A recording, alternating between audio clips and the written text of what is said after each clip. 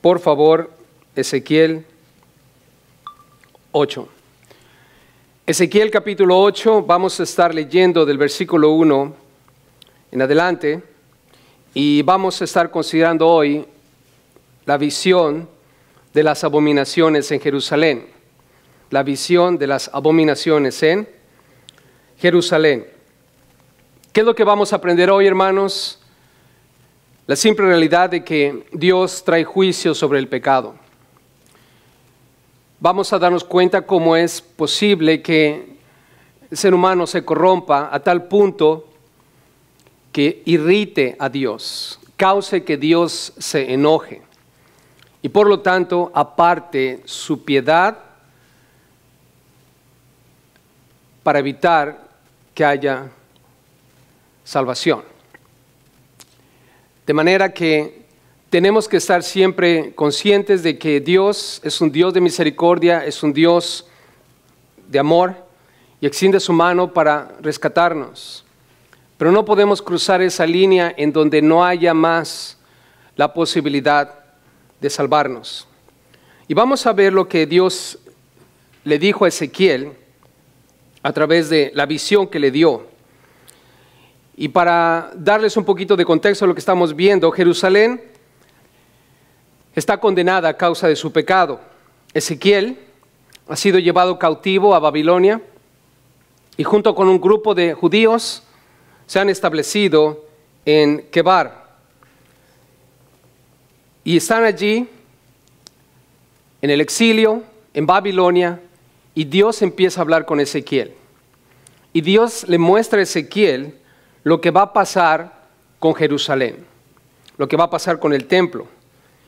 Dios le muestra a Ezequiel visualmente el pecado que estaban cometiendo los judíos en Jerusalén, lo cual eventualmente lleva a que nosotros justifiquemos el por qué Dios los castiga de una manera brutal.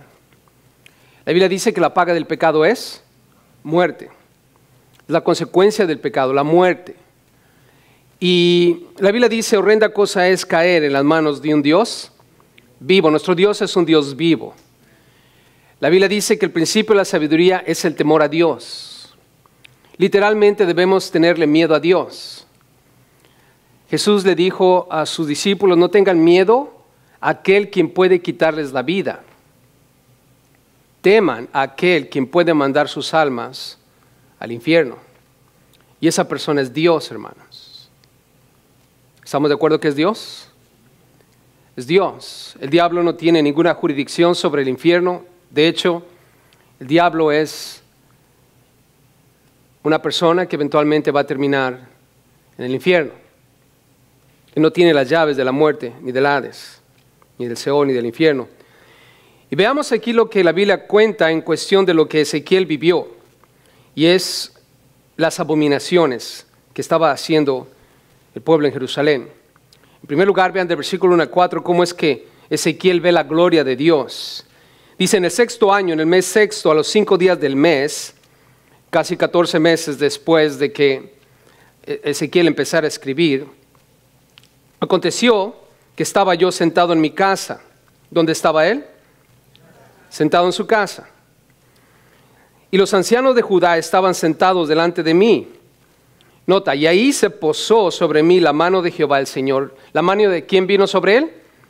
La mano de Jehová. Ahora vean el versículo 4, por favor. Y he aquí, ahí estaba la gloria del Dios de Israel. ¿Qué es lo que encontró Ezequiel?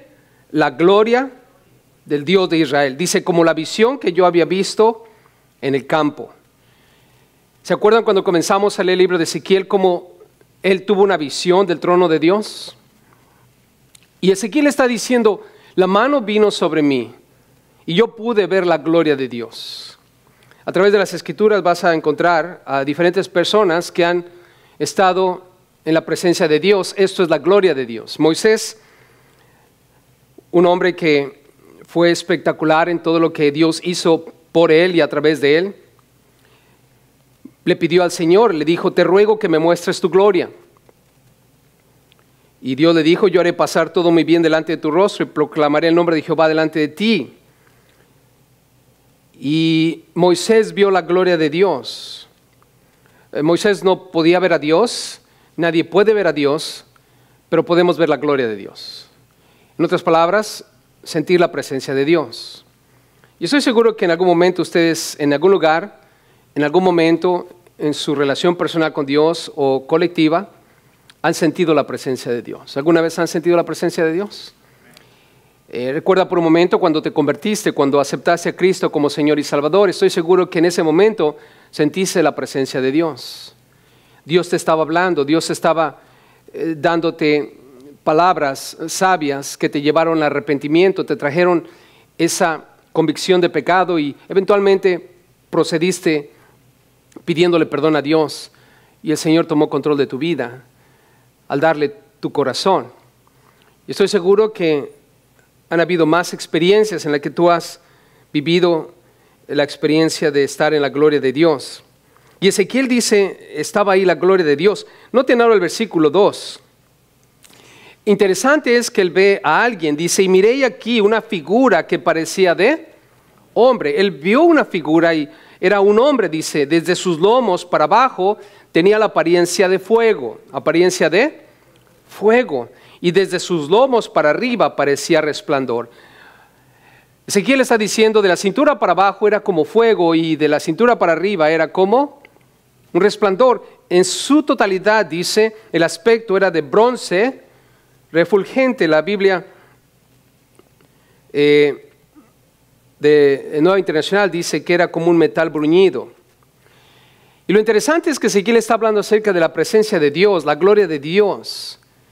Moisés vio la gloria de Dios también y el pueblo de Israel era guiado a través de la presencia de Dios por medio de una nube de día y una nube de fuego de noche. ¿Recuerdan eso? Una nube de fuego de noche y una nube de día. Y aquí ven ustedes cómo Ezequiel está escribiendo a alguien que tiene una apariencia como de fuego, que resplandece.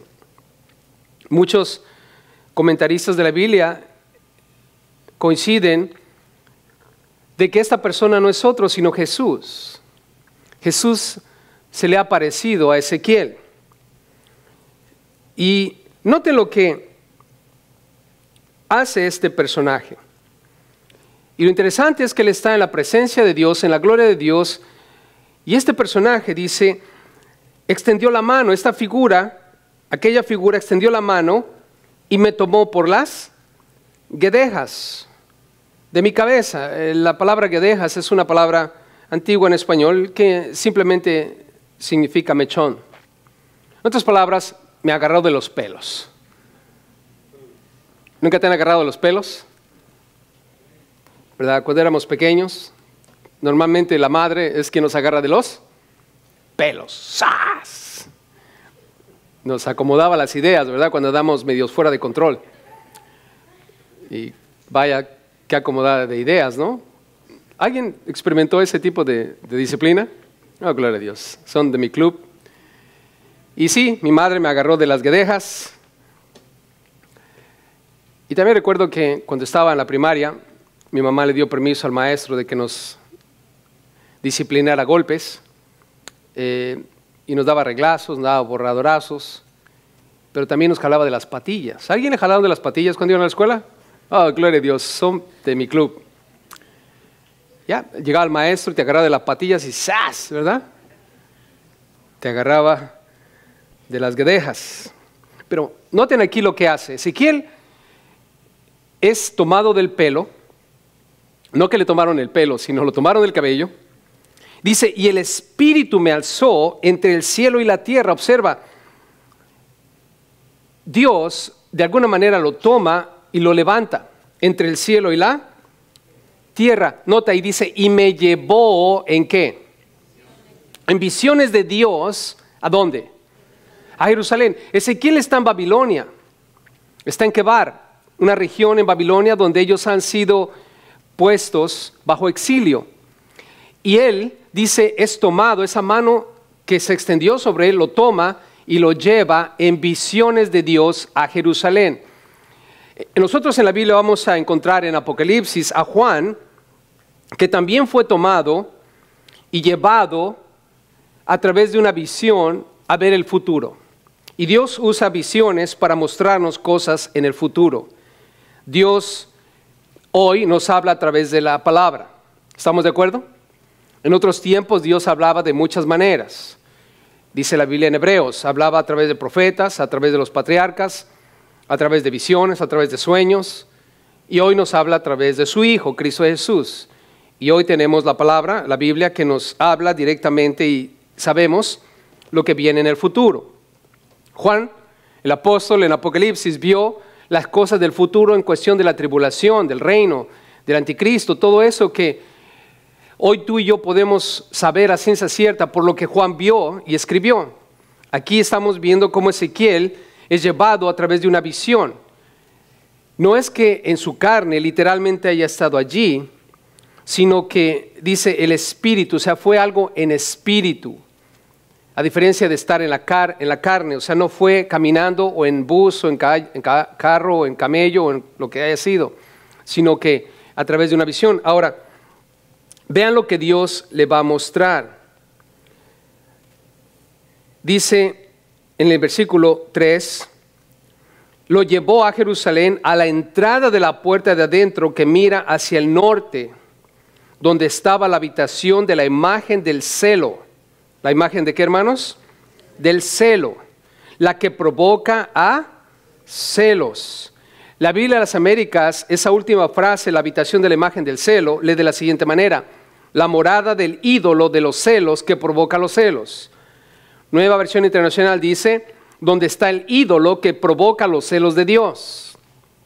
Entonces Ezequiel es llevado a Jerusalén, en particular expuesto donde está el templo.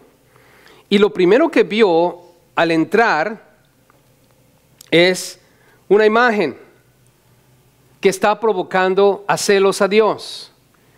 Y es el templo, hermanos. Y saben que el rey Manasés fue un rey muy, muy malo, que hizo muchas cosas malas. Y una de las cosas que él hizo fue poner altares paganos en el templo. Altares a Baal, a Acera, y Dios ha sido provocado a celos. Imagínate que tú un día entraras a este templo, a esta iglesia, este edificio que ha sido dedicado para adorar y honrar a Dios, y te encontraras en la puerta, en la entrada, a un ídolo, cualquiera que éste sea, o algún animal o algún reptil que de alguna manera nosotros consideremos ser Dios o algún, alguna estrella. Imagínate que un día tuviéramos la estatua de un sol ahí y este es ahora nuestro Dios, o, la luna, o, un ratón gigante, o una serpiente, etc. Y es lo que Dios le está mostrando a Ezequiel. ¿Cómo es posible que al entrar en el templo, lo primero que ves es una imagen? Es un ídolo. Y nosotros como cristianos necesitamos recapacitar en esto, hermanos, porque Dios dijo, no tendrás dioses ajenos delante de mí. No te harás imagen de ninguna semejanza de lo que esté arriba en el cielo ni abajo en la tierra. ¿Por qué? Porque yo soy Jehová tu Dios fuerte y celoso. La Biblia en varias ocasiones habla de cómo el pueblo de Israel lo despertó a celos lo provocaron a ira con sus abominaciones adorando a otros ídolos. Entonces Ezequiel está en el templo horrorizado viendo esta imagen en la entrada del templo. Eh, familia, ¿qué es lo que tú como cristiano, como hombre, mujer de Dios que adora al único Dios, quisiera ver al entrar al templo? ¿Qué quisieras ver al entrar al templo? Yo no sé qué es lo que tú quisieras ver al entrar al templo. Pero piensa por un momento, ¿qué es lo que se espera cuando tú entras al templo de Dios, a la casa de Dios? No en vano Jesús al entrar al templo, lleno de ira, encendido en furor, hermanos, hizo un azote de cuerdas. Y le dijo a ellos, los que estaban en el templo, han hecho de la casa de mi padre una cueva de qué? De ladrones. Esta es una casa de oración. Yo lo que espero ver cuando entro al templo es una relación con Dios. La oración, hermanos, es el medio que Dios nos ha dado para hablar con Él, para conectarnos con Él. Lo que esperamos ver en el templo es estar conectados con Dios. No es show, no entretenimiento, hermanos. Nada de eso espera ver el Señor en su casa y nosotros mucho menos desearíamos o esperaríamos ver. Es triste para mí pensar, hermanos, en el, progreso de lo que hemos visto dentro de la iglesia. Cuando yo crecí, hermanos, dentro de la iglesia, no había instrumentos electrónicos, no había luces, no había televisiones, no había proyectores. El líder de la alabanza, hermanos, era un hermano con su guitarra. Y no éramos diez personas, hermanos, era una iglesia grande. Y se paraba en el púlpito y decía, hermanos, ¿qué canto quieren cantar? Y el hermano decía, yo quiero cantar este, y hacía su lista, diez cantos, los hacía ahí en ese momento. Y se agarraba con su guitarra y decía, ok, vamos a cantar. Y hermanos, toda la iglesia estaba cantando. Gente entre medio traía panderos y cantaban de memoria, hermano. Y eran himnos, coritos, nada de lo que ahora escuchamos, puras repeticiones. Y puras repeticiones. El canto es como 20 veces lo mismo, la misma repetición. Y las pantallas y las luces y las guitarras eléctricas y la batería y piano y voces bonitas y, y, las luces y todo eso, hermanos. ¿Qué es lo que queremos ver cuando entramos al templo? ¿Qué es lo que queremos ver? ¿Qué es lo que vienes a ver cuando entras al templo? Parece ser, hermanos, parece ser que lo que queremos ver es al ídolo que la iglesia ha levantado. Estaba hablando con unas personas acerca de un evento y estábamos hablando de este evento y, y la pregunta, ¿qué músicos vamos a llevar? Y por ahí la, bueno, este jala más gente y este no jala más gente y este sí jala más gente, pero este cobra más, este cobra menos. Y las discusiones en cuestiones de los eventos. Y parece ser, hermanos, que estamos buscando al mejor ídolo que pueda atraer a, la mayor gente posible, porque queremos tener un evento espectacular. Hermanos, tenemos que tener cuidado de no provocar a Dios a ira. No tendrás dioses ajenos delante de mí.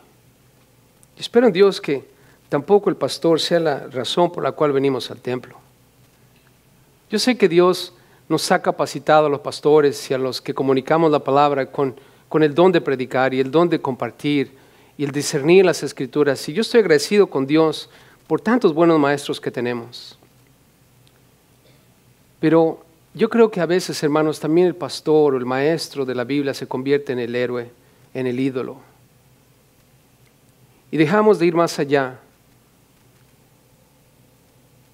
En lugar de estar buscando tener una conexión con Dios y tomar la enseñanza de ese pastor que sabe discernir la palabra o que sabe enseñar bien, en lugar de tomar esa enseñanza para poder conectarme mejor con Dios, estoy buscando oír al buen comunicador al buen predicador, al que sabe entretenerme, hacerme reír, hacerme llorar, hacerme gozar, lo que sea, hermanos. ¿Cómo es posible que en nuestros días estemos permitiendo en el templo de Dios ídolos, hermanos, que nos aparten de Dios? Dios nos va a juzgar por esas cosas. Necesitamos tener cuidado. Algo que Ezequiel no veía, hermanos. Dios tuvo que llevarlo de una manera espiritual para que él pudiera ver lo que estaba pasando detrás de las escenas que muchas veces nosotros no vemos. Mira lo que dice el versículo 5. Después de que Ezequiel ve esa imagen ahí, Ezequiel hermano del 5 al 16 va a ver las grandes abominaciones que Israel está haciendo. Versículo 5, y me dijo, hijo de hombre, Alza ahora tus ojos hacia el lado del norte. Y alcé mis ojos hacia el norte y aquí al norte junto a la puerta del altar aquella imagen del celo en la entrada. Me dijo entonces, hijo de hombre, escucha esta pregunta que le hace Dios a Ezequiel. Y le llama hijo de hombre. Recuerden la expresión hijo de hombre. Dios le está hablando a un ser humano. Hijo de hombre implica tú, ser humano. Soy Dios. Escucha lo que te voy a preguntar. ¿No ves lo que estos hacen? Las grandes abominaciones que la casa de Israel hace aquí para alejarme de mi santuario. ¿De quién es el santuario, hermanos? ¿De quién es el templo? ¿De quién es el lugar? ¿Quién es el dueño de toda la tierra, hermanos? ¿Quién es el dueño de nuestras vidas? Es Dios. Y cuando nosotros incurrimos en pecado, estamos en abominación delante de Dios, haciendo cosas que no debemos hacer, lo que estamos haciendo, hermanos, es separándonos de Dios. Nuestro pecado nos separa de Dios. Pero le dice en el versículo 6, vuélvete aún, mira, alza los ojos, mira hacia arriba y verás abominaciones mayores Todavía no has visto nada. Apenas acabas de entrar. Y lo único que has visto es este ido, pero todavía no ves absolutamente nada. Y aquí es cuando a veces pienso, hermano, que nosotros como líderes de la iglesia, y eso es para los que estamos en liderazgo, en cualquier capacidad, tenemos que estar siempre pidiéndole a Dios que nos dé discernimiento para que veamos más allá de nuestras narices y podamos ver, hermanos, detrás de las escenas cosas que solamente Dios puede mostrarnos para que podamos lidiar con el pecado que hay dentro de la iglesia de Dios. Porque Dios nos va a juzgar, hermanos. Verás abominaciones mayores. Y ahora observa, aquí viene, versículo 7. Después de que Ezequiel ve esa imagen allí, dice la Biblia en el 7, y me llevó a la entrada del atrio, y miré, y aquí en la pared un agujero. ¿Qué vio? Un agujero. Algo minúsculo, hermanos, que no le permitía ver bien. Y me dijo, hijo de hombre, cava ahora en la pared, escarba. Y cavé en la pared y aquí una puerta. Encontró la puerta, hermanos. La puerta que lo va a llevar a darse cuenta de la inmundicia extrema que había en el pueblo de Israel, en el templo, hermanos. Me dijo luego, entra y ve las malvadas abominaciones que estos hacen allí. Entré pues y miré, y aquí toda forma de reptiles y bestias, abominables, y todos los ídolos de la casa de Israel que estaban pintados en la pared por todo alrededor. ¿Qué encontraron en la pared, hermanos? Reptiles, bestias y todo tipo de ídolos Hermanos, Dios en Deuteronomio dijo lo siguiente, escucha, Deuteronomio 4, versículo 16 al 17.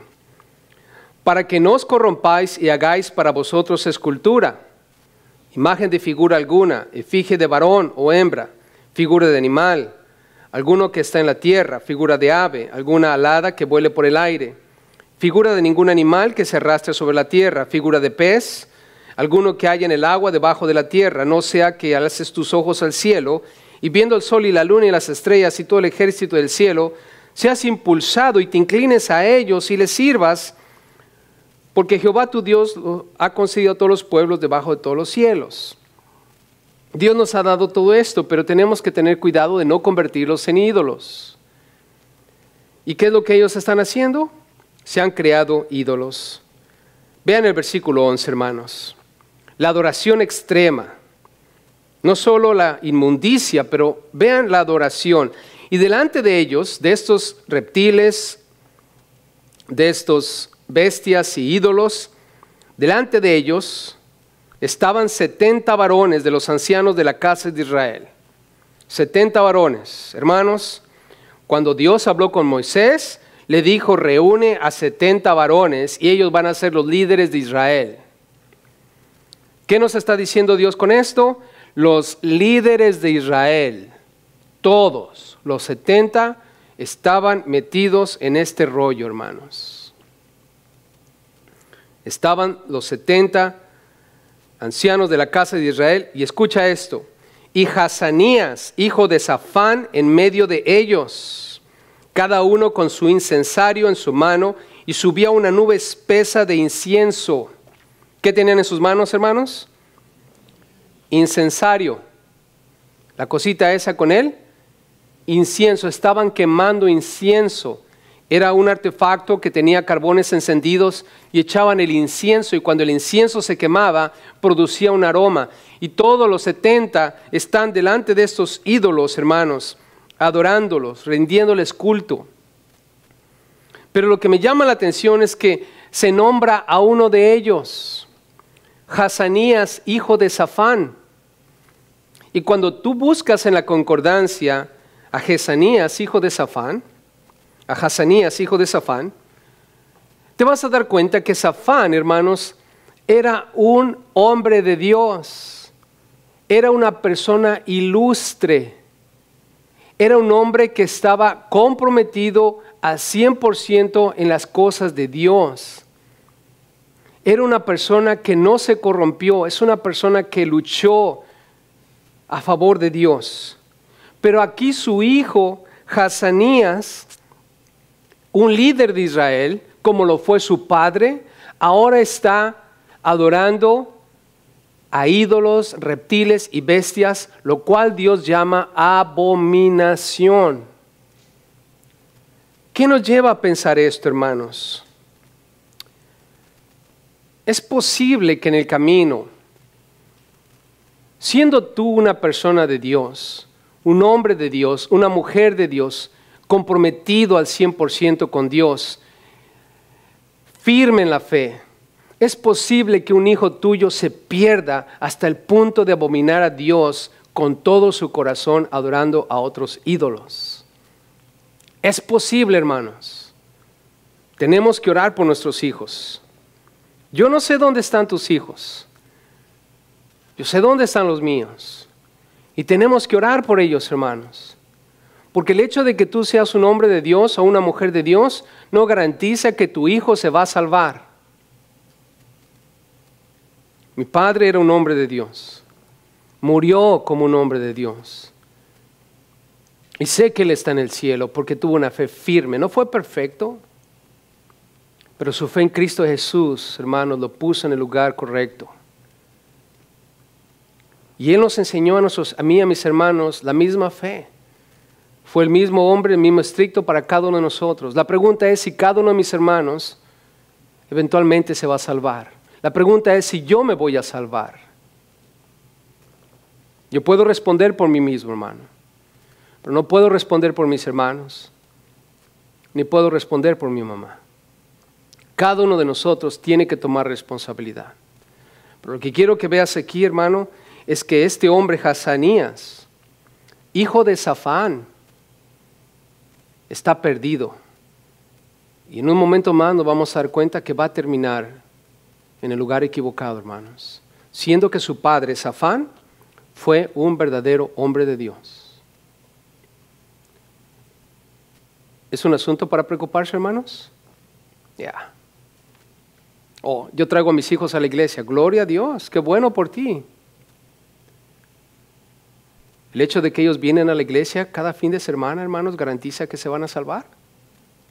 El asistir a la iglesia te salva. O hago devocional con ellos todos los días. Gloria a Dios. El hacer un devocional todos los días te salva, hermanos.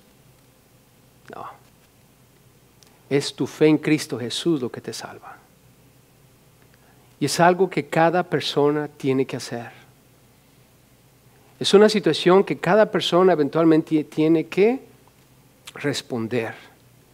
El ser humano tiene que reconocer su pecado delante de Dios, tiene que entender quién es Jesús y qué es lo que Jesús hizo en la cruz y eventualmente tiene que venir arrepentido a Dios, pidiéndole perdón y aceptándolo como Señor y Salvador. Si esa persona no hace eso, hermanos, se va a perder y va a terminar el infierno, no importa cuántas veces ha ido a la iglesia, no importa que haya sido mi hijo. Amén.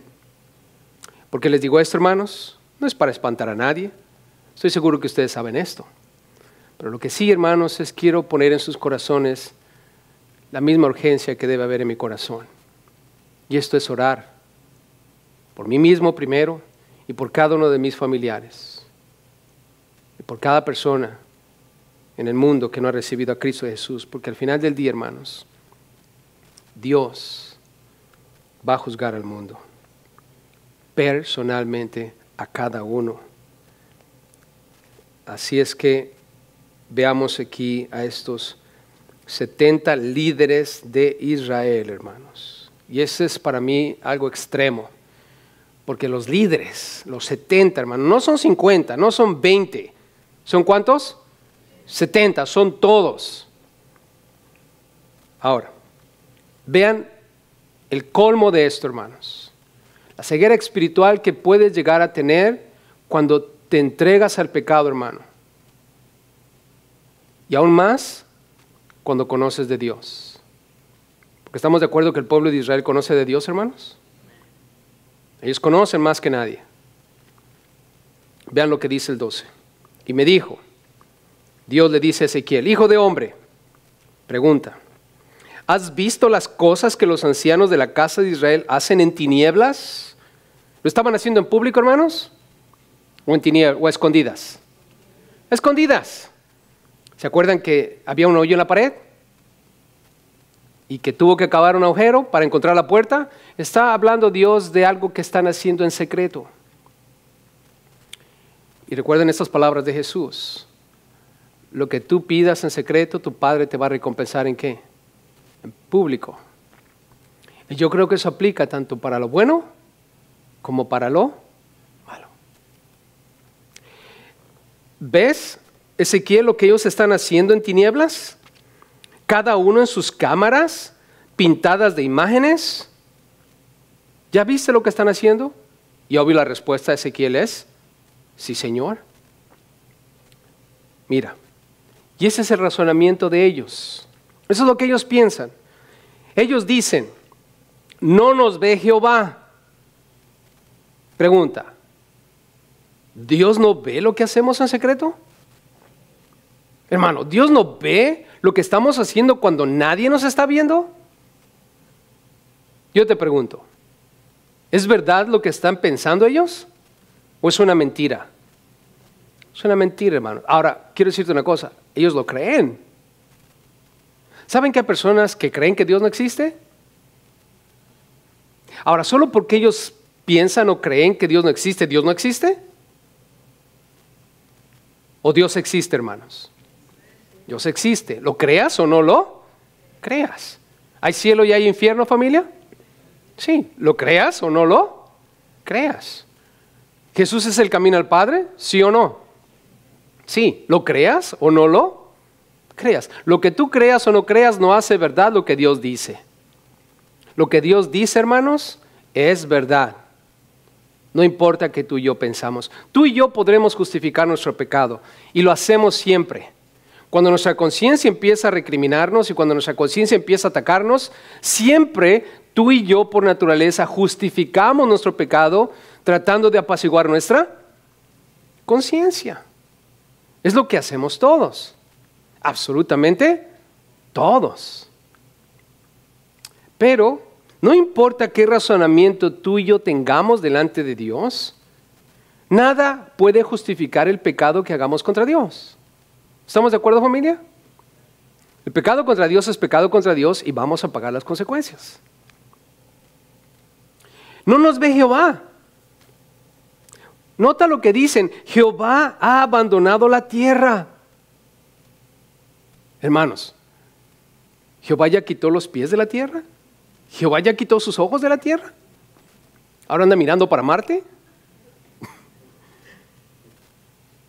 Hermanos, ¿Qué clase de mentalidad es esa? Y sin embargo, ellos están completamente seguros de que Dios no los está viendo. Hermanos, Dios ve todas las cosas. Recuerden que la Biblia dice que todas las cosas están desnudas delante de aquel a quien un día tenemos que dar cuentas. La Biblia dice todo lo que el hombre siembre, ¿eso qué? Segará. Hoy nadie me quiere. Bueno, es porque tú no quieres a nadie. ¿Estás cosechando lo que? Sembraste. Oh, todo el mundo me quiere. Claro, porque tú quieres a todo mundo. Oh, soy pobre. Sí, porque no trabajas. Soy rico, claro, porque has trabajado. No hay buena suerte ni mala suerte. Todo lo que el hombre hace, eso cosecha. Y lo mismo es con el pecado, hermanos. ¿Por qué hay personas que van a terminar en el infierno? Porque persistieron en su pecado. Porque hay gente que va a terminar en el cielo. Porque se arrepintieron de su pecado. Todo lo que tú hagas, lo que siembres, cosechas. Tenemos que entender eso, hermanos. Y ellos están en un punto crítico. Ahora, vean en el versículo 3, hermanos. Las mujeres llorando a Tamuz. Dice en el 13, me dijo después, vuélvete aún y verás abominaciones mayores. O sea, vamos de mal en peor. ¿Qué hacen estos? Y me llevó a la entrada de la puerta de la casa de Jehová que está al norte. Y aquí mujeres que estaban allí sentadas endechando a Tamuz. Primero, Dios le muestra a Ezequiel la abominación en el templo, el ídolo en la puerta. Después le muestra cómo los líderes están en pecado todos. Y ahora nos está mostrando cómo las mujeres de la congregación de Israel también están en pecado. ¿Adorando a quién? A Tamuz, están llorándole al dios Tamuz. ¿Por qué? Porque en la mitología se cree que el dios Tamuz fue asesinado por un jabalí. Imagínate, un dios fue asesinado por un jabalí. Y están llorando porque Tamuz se murió. Ahora, hermanos, no les voy a dar detalles de la adoración a Tamuz porque tiene que ver con la depravación sexual. Todo tipo de depravación sexual que existe en el mundo tiene que ver con la adoración a Tamuz. Así es que eso lo dejo ahí nada más. Pero quiero que entiendan, hermanos, que no es nada agradable delante de Dios. Y no estoy hablando de sexo normal, hermanos, estoy hablando de depravación en el templo, en la casa de Dios. Ahora, vean conmigo en el versículo 15. Después de mostrarnos estas mujeres llorando, sentadas ahí por ese dios, Tamuz, que era un dios de la fertilidad, mitológico, que no es verdad de ninguna manera. Ahora, 15, luego me dijo, ¿no ves, hijo de hombre? Vuélvete aún y verás abominaciones mayores que estas y me llevó al atrio de dentro de la casa de Jehová, y aquí junto a la entrada del templo de Jehová, entre la entrada y el altar, como 25 varones. Ok, las mujeres están en pecado, sí, pero ¿qué hay de los varones? También. ¿Y qué están haciendo estos 25 varones? Nota, sus espaldas vueltas al templo de Jehová y sus rostros hacia el oriente. ¿Hacia dónde están sus rostros? Hacia el oriente, hermanos. El occidente y el oriente. Ellos tenían que estar viendo al occidente. Pero ahora le han dado la espalda al occidente y están viendo hacia el oriente. El templo está a sus espaldas. Lo que la Biblia nos está diciendo es que los varones le han dado la espalda a Dios. Tienen que estar de frente hacia Dios pero ahora le han dado la espalda a Dios y están viendo hacia el oriente. ¿Y saben que muchas de las falsas religiones vienen del oriente? Piensa por un momento, analiza las religiones del mundo y las peores y las más aberrantes vienen del oriente. Ellos han puesto sus ojos en el oriente. ¿Y qué es lo que están adorando en particular? Sus rostros hacia el oriente, versículo 16, y adoraban a quién? Al sol postrándose hacia el oriente. Hermanos, tenemos que tener cuidado. En primer lugar, no ver las religiones del oriente, de ninguna manera. Pero el sol, la luna, las estrellas. Hermanos, es increíble cuántos cristianos leen su horóscopo todos los días para descubrir qué es lo que Dios tiene para ellos. Cuando vamos a comer la comida china, Estamos ansiosos de partir la galleta de la suerte. Queremos saber qué es lo que dice el papelito. Eso es una religión del oriente, hermanos. ¿Acaso no? Yo sé que ustedes no lo hacen porque ustedes saben más que eso. No aceptan la galleta cuando viene la mesera con el cheque. Dicen, eso es del diablo. Cruz, cruz, que se vaya el diablo y que venga Jesús. Y sin embargo, hermanos, a veces lo hacemos de broma, pero realmente lo profundo de nuestro corazón quisiéramos saber que alguien nos leyera, quisiéramos que alguien nos leyera la mano o nos dijera nuestra suerte. ¿Acaso no, hermanos? Porque por naturaleza nosotros estamos inclinados a querer saber. Pero hermanos, si realmente quieres saber tu futuro, lee las cartas de Pablo, de Juan y de cada uno de ellos, hermanos, y vas a encontrar tu futuro claramente descrito en detalle. Amén. Hermano, ¿para qué mirar al sol, la luna y las estrellas? Cuando podemos mirar y aprender de aquel que creó la luna, el sol y las estrellas. Nuestro Dios mismo, hermanos. Nosotros necesitamos tener mucho cuidado, hermanos, porque esa gente está en problemas delante de Dios. Y veamos versículo 17 al 18. Lo triste de todo esto, hermanos, aquí es cuando viene el punto crítico para cada uno de nosotros. Necesitamos entender y tomar responsabilidad de Dios, hermanos, porque con Dios no se juega. ¿Estamos de acuerdo que con Dios no se juega? ¿Estamos de acuerdo, hermanos? Todos anhelamos y creemos que Dios es amor. Y lo es. Pero hermanos, Dios no es un osito de peluche. Amén. Como para que lo abraces cada noche y, ¡ay, qué bonito mi Di! ¿Verdad que me quieres? Así como soy. No, nosotros somos pecadores, hermanos. Dios no nos quiere así como somos. Dios nos quiere en Cristo Jesús. Amén. Dios no mandó a Jesús solamente para salvarnos del infierno, hermanos, sino para que seamos conformados a su imagen y semejanza. Necesitamos tomar responsabilidad. Cada uno de nosotros. Vean lo que pasó con ellos. Versículo 17, y me dijo, ¿no has visto, hijo de hombre? La pregunta, ¿no ha visto o ya vio? Ya vio. Y le dice Dios a Ezequiel, es cosa liviana, es algo que para ellos no tiene importancia. Es cosa liviana para la casa de Judá hacer las abominaciones que hacen aquí, o sea que para ellos no es nada vivir en pecado y andar pecando delante de mí y en el templo, para ellos no es absolutamente nada. Y hay gente que lo piensa de esa manera, no, no te preocupes, Dios te perdona. Es más, la Biblia dice, abogado tenemos para con el Padre, solamente pídele perdón. ¿Verdad que sí, hermanos? No sabemos bien ese versículo. Ahora, ¿es verdad que Dios nos perdona? Sí, pero tenemos que tener mucho cuidado con esto. Dice, es cosa liviana para ellos hacer las abominaciones que hacen aquí. Después que han llenado de maldad la tierra, escucha, han llenado de maldad la tierra, se volvieron a mí para irritarme. O sea, hermanos, una cosa necesitamos entender, ya es suficiente que hay pecado en la tierra. ¿Verdad que este mundo está en pecado, hermanos? ¿Lo puedes ver a tu alrededor?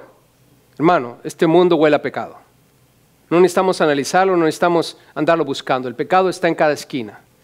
Y Dios dice, ya es suficiente el pecado que hay y todavía vienen y me están irritando, me están provocando a ira. He aquí, dice, que aplican el ramo a sus narices. Esa frase está hermosa. Aplican el ramo a sus narices. ¿Qué quiere decir eso? La Biblia de las Américas dice así, me han provocado repetidas veces, se llevan el ramo a la nariz.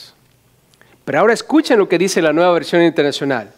Mira cómo me enardecen, pasándome por la nariz sus pestilentes ramos. Y después de leer todo eso, entendí lo siguiente, hermanos. Le están pasando su pestilente ramo a Dios por la nariz. Y es una ofensa, hermanos. Es un insulto. Es una actitud arrogante lo que están haciendo. Es una ofensa, hermanos, profunda contra Dios. Lo están, en otras palabras, golpeando en las narices. ¿Te gustaría que te golpearan narices? Cuando estaba en la secundaria, hermanos, había este jueguito que su intención era irritarte. Se te acercaban a ti por detrás y te pegaban así en la oreja. ¿Nunca se los hicieron? Oh my goodness, dicen los gringos, ¿verdad? Paz. Y volteabas y se echaba a correr aquel, ¿no? Y ya. Y más adelantito, por ahí se salía otro y pum, te volvía a hacer lo mismo. Y el punto era qué? Irritarte. Y vaya que muchos se irritaban y acababan golpeándose unos a otros, ¿no? ¿Nunca vieron ese tipo de jueguitos? Es la misma idea, hermanos. Vienen con Dios y ¡pum! le pegan en la oreja. Y otra vez ¡pum! le pegan en la oreja. Y el punto, hermanos, es que Dios ha llegado y dice, estoy enojado contra ustedes. Ahora, ¿qué es lo que pasa cuando Dios se enoja? Versículo 18. Eso es lo que pasa cuando haces enojar a Dios. Eso es lo que pasa cuando hago enojar a Dios. Eso es lo que va a pasar cuando el mundo vea la ira de Dios. También, escucha esto, yo procederé con furor. ¿Cómo va a proceder Dios, hermanos? ¿Con amor? ¿Con cariño? ¿Con atención? ¿Con precaución? No, hermanos, con furor. Recuerden lo que la Biblia dice, la ira de Dios viene sobre los hijos de desobediencia. Ok, y aquí está. Eso es lo que pasa cuando Dios se enoja. Número uno, no hay perdón. No perdonará mi ojo. No hay perdón. Cuando una persona irrita a Dios con su pecado y cruza la línea que no debe cruzar, no hay más perdón. ¿Se acuerdan lo que Dios le dijo a Jeremías? Ya no ores por ellos se acabó. Segundo, no tendré misericordia. Misericordia es cuando no recibes lo que te mereces. Pero cuando Dios no tiene misericordia, vas a recibir lo que te mereces. No perdón, no misericordia. Y escucha esta. Otra cosa más que pasa cuando Dios se enoja y gritarán a mis oídos con gran voz. ¿Cómo van a gritar, hermanos? Con gran voz. Van a clamar, van a suplicar. ¿Y qué va a pasar? ¿Dios los va a oír? ¿Cuánto dice no? ¿Cuánto dice no? ¿No? Gloria a Dios, no los va a oír. Ahí dice, y no los oiré. ¿Por qué, hermanos? porque ya cruzaron la línea que no tenían que cruzar. Han irritado a Dios de una manera increíble. Recuerden lo que el Salmo 66, 18 dice y con esto dejo esto en sus corazones. Salmo 66, 18 dice, si en mi corazón hubiese yo mirado a la iniquidad o abrigado el mal, el Señor no me habría escuchado. Cuando una persona abriga en su corazón la maldad, el Señor no escucha. No va a haber más perdón y no va a haber más misericordia.